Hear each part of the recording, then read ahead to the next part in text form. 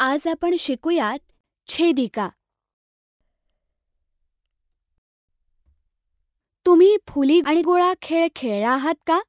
हा खेळण्यासाठी आपल्याला चार रेषा म्हणजेच लाईन्स काढणे आवश्यक असते.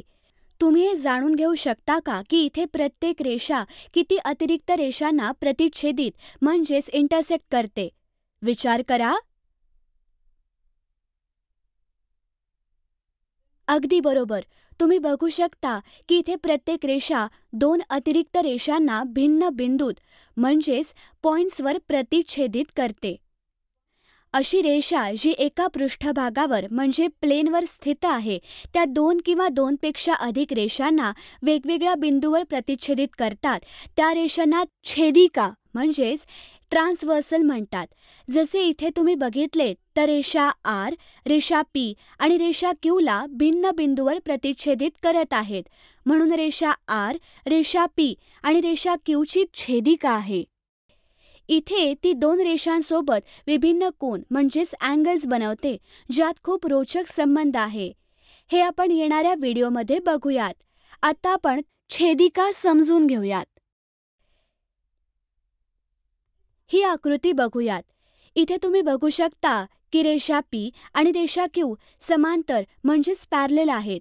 या दोन्ही रेषा आर भिन्न बिंदूवर प्रतिच्छेदित करत आहेत. म्हणून आपण रेषा आरला रेषा पी आणि रेषा क्यूची छेदिका म्हणू शकतो. इथे तुम्ही बघू शकता की दोन रेषांची छेदिका त्यांना दोन भिन्न बिंदूंवर प्रतिच्छेदित करते. म्हणजे दोन रेषांच्या छेदिकेचे दोन छेदन बिंदू म्हणजेच पॉइंट ऑफ इंटरसेक्शन असतात. आता ही आकृती बघा. इथे देखील रेषा आर छेदिका आहे का? विचार करा. जसे आपण शिकलो की जी रेषा एका पृष्ठभागावरील दोन किंवा दोनपेक्षा अधिक रेषांना भिन्न बिंदूत प्रतिच्छेदित करते त्या रेषेला छेदिका म्हणतात. इथे रेषा आर रेषा पी आणि रेषा क्यू आणि रेषा एसला भिन्न बिंदूत प्रतिच्छेदित करत आहेत. म्हणून आपण रेषा आरला रेषा पी रेषा क्यू आणि रेषा एसची छेदिका म्हणू शकतो. इथे तुम्ही बघू शकता की तिन्ही रेषांच्या छेदिकेचे तीन छेदनबिंदू आहेत. अशाच प्रकारे जर चार रेषांनी छेदिका बनवली तर ती चार छेदनबिंदूवर प्रतिच्छेदित करेल. या आधारे आपण म्हणू शकतो की छेदिकेच्या छेदनबिंदूंची संख्या छेदित होणाऱ्या रेषेच्या संख्ये समान असते. आता सांगा सहा रेषांच्या छेदिकेचे छेदनबिंदू किती असतील? विचार करा. अगदी बरोबर. ती संख्या असेल सहा. आता चला या आकृतीबद्दल बोलूयात. इथे रेषा आर ही रेषा पीयू आणि रेषा क्यूची छेदिका आहे का? विचार करा.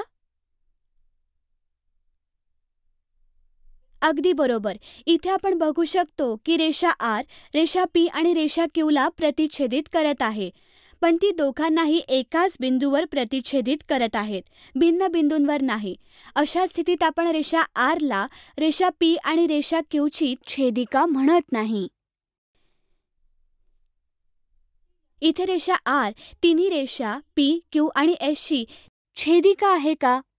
विचार करा. एकदम बरोबर विचार केलात. इथे रेषा पी रेषा क्यू आणि रेषा आरला एकाच बिंदूवर प्रतिच्छेदित करत आहे. म्हणून आपण रेषा आरला तिन्ही रेषांची रेषा पी क्यू एसची छेदिका म्हणू शकत नाही. पण जर तुम्ही बघितलेत तर इथे आर क्यू आणि एसला भिन्न बिंदूवर प्रतिच्छेदित करत आहे. म्हणून आपण आरला क्यू आणि एसची छेदिका म्हणू शकतो. अशाच प्रकारे आपण हे देखील बघू शकतो आर पी आणि एसला भिन्न बिंदूंवर प्रतिच्छेदित करत आहे. म्हणून आर ह्या दोघांची देखील छेदिका आहे. आता तुम्हाला छेदिकेबद्दल पक्के समजले असेल ना? आता विचार करा दोन रेषांसाठी किती छेदिका काढल्या जाऊ शकतात?